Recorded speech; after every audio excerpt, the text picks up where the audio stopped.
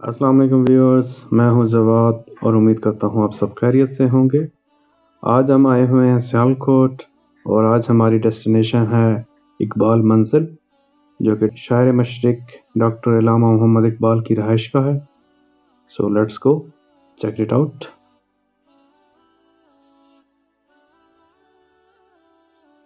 Iqbal Manzil Sialkot के N वस्त में, कश्मीरी मोहल्ला में वाक़ है। सड़क के आगाज़ में इलामा इकबाल का खूबसूरत मुजस्मा लगाया गया हुआ है और इस सड़क का नाम इलामा इकबाल से मंसूब करते हुए इलामा इकबाल रोड रखा गया है। इकबाल मंजिल तीन मंजिला इमारत है, जो कि आज 9 नवंबर की मुनासबत से इसको सजाया गया हुआ है।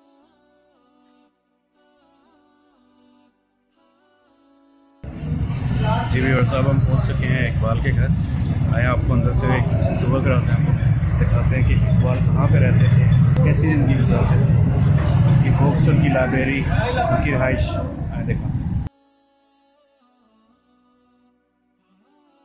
इकबाल मंजिल में दाखिल होते ही पहली नज़र जिस तस्वीर पर पड़ती है, उसमें उनके फ्रजंद तमाम आने वाले मेहमानों को खुश आमदीद कहते हैं।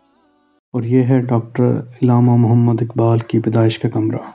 और ये वो बिस्तर जो कि इस कमरे का हिस्सा था। और ये इकबाल की वालदा अम्मा बीबी की तारीखी तस्वीर। जो ही हम आगे बढ़ें, जो तस्वीर हमारे सामने आती है, ये इकबाल के बचपन की तस्वीर है। और इसके हमरा उनकी जोजा सरदार बेगम की तस्वीर है। और ये इकबाल के ज़ाती मुलाजिम अली बख्श की तस्वीर है। इस कमरे में इकबाल का झूला, अम्मा बीबी की तस्वीर और इकबाल की आरामदेह कुर्सी रखी गई है। अगला कमरा मेहमान खाना है, जिसकी दीवारों पे इलामा इकबाल की यूनिवर्सिटी की कुछ यादगार तस्वीरें और मेडल्स आवेजा हैं आए, अब हम आपको दूसरी मंजिल की तरफ़ लिए चलते हैं। इस कमरे में जगह जगह इकबाल के आशार और अकवाल जरी दर्ज हैं, जो कि बड़े बड़े पैनाफ्लैक्स और बैनर्स पर आवेजा हैं।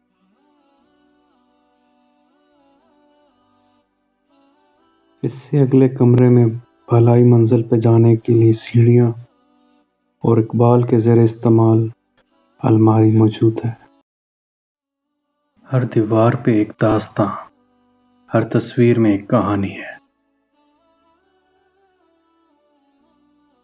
और ये इकबाल का कलम, खाने की प्लेट, हुक्का और पीतल के बर्तन, जिनमें वो खाना पकाते और खाते थे। इतनी सादा थी इकबाल की ज़िंदगी।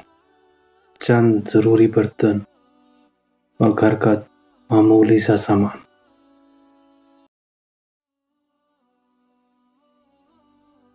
और ये है वो इल्म का ज़ख़ीरा, वो शायरी जिसने बर सग़ीर के मुसलमानों में जज्बा आज़ादी पैदा किया और उनको एक सोईवी कौम से जगा कर पाकिस्तान का ख्वाब दिखाया।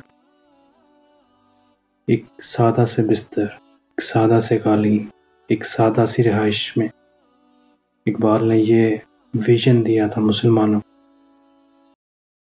यूनिवर्सिटी ऑफ़ हेडलबर्ग जहाँ से इकबाल ने अपनी पीएचडी की डिग्री मुकम्मल की, और ये इकबाल की यूरोप में कुछ यादगार तस्वीरें उन्नीस सौ इकतीस में आलमी इस्लाम कॉन्फ्रेंस की यादगार तस्वीर, जिसमें इकबाल ने फ़लस्तीन में जाके शिरकत की। इकबाल की औलाद में दो बेटे और दो बेटियाँ शामिल हैं। जिनसे एक बेटा जस्टिस जावेद इकबाल, जिन्होंने सुप्रीम कोर्ट ऑफ़ पाकिस्तान के जज की हैसियत से अपने फ़राइज़ अंजाम दिए। नहीं तेरा नशेमन कसर सुल्तानी के गुंबद पर, तू शाही है बसेरा कर पहाड़ों की चट्टानों में।